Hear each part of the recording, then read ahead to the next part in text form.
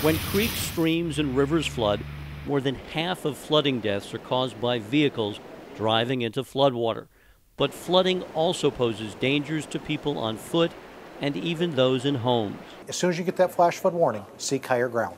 Meteorologist Steve Runnels of the National Weather Service Springfield, Missouri Forecast Office says people can often be caught off guard because of how fast floodwater can rise. Small creeks can jump 15 feet or more in less than a half hour, and children often want to play in floodwater. All it takes is like six inches of water to knock you off your feet, and if there's a storm drain, you get sucked down into it, and your chance of survival is very low. While areas that have flooded in the past are most likely to flood, floodwaters can spread farther and flow into low areas that have not flooded in the past.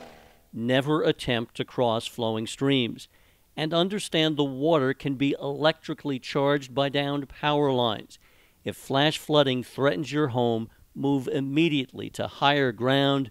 Don't wait for instructions. If you're sleeping, how are you going to know that? What we really would like people to have is a weather radio, have the capability of receiving warning information on a cell phone. If you have time to secure your home, move essential items to upper floors. Disconnect electrical appliances turn off utilities at the main switches or valves if instructed to do so. Do not touch electrical equipment if you are standing in water. If it's safe to do, move vehicles to higher ground. And never camp or park a vehicle along streams, particularly during threatening conditions. Be especially careful at night when it's harder to recognize flood dangers. Recognizing the dangers of flash flooding part of being storm aware.